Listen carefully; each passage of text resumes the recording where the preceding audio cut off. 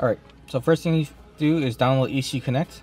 Once you've downloaded ECU Connect, it won't connect to the the car right away. So first thing you need to do after that is go to your settings, go to Bluetooth, make sure you connect your dongle to your car and your car is on. Uh, it should show up under other devices. Okay, so now we connected it. It's connected. Go back to app. Now it'll say my car. Next thing you're gonna need to do is make sure you select your tuner. So choose tuner. Type Jotech. Say Jotech. To have our email, everything. Now the tuner selected. Now you go to my car. It's gonna detect everything in the car. Go to program ECU. From there, you'll send the vehicle information. So this is a Nissan GTR.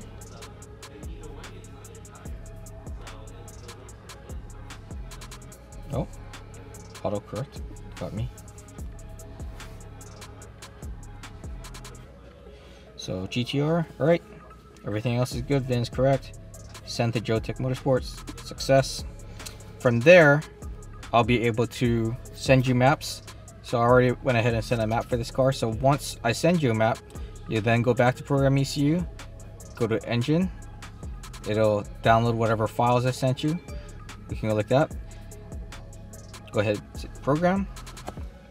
The first time you do it, it might say it needs to test your your phone or your iPad, whatever you're using, to make sure it can flash properly and it'll do the test. It'll take about a minute and then after that you'll be able to do this.